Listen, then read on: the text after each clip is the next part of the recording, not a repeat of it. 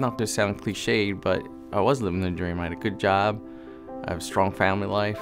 Uh, I have a wife I love dearly and the kids that I love just as much. An 11 year old boy, just turned 11, and an 8 year old girl. Basically, live my life every day in order to be with them and to um, be a good father for them. My name is Chris, and this is my story. I was at my son's football game. He's a Pee Wee. I noticed that something wasn't quite right.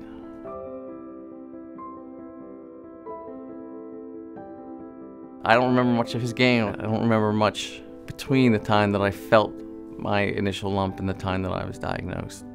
And as it turned out, I did, in fact, have cancer.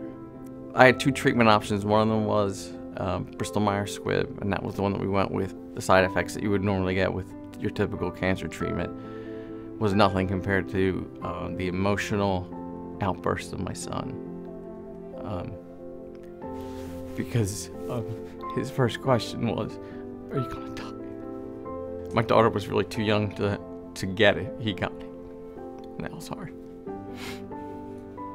If BMS's drug wasn't developed in time for me, I don't.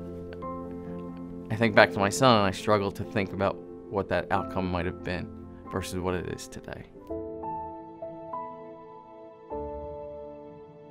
I received some literature from Bristol Myers Squibb about how they wanted to be the premier immune oncology um, paradigm in the industry. And that was exciting, and I wanted to be a part of that. I live my life like I'm cured. I don't worry about anything.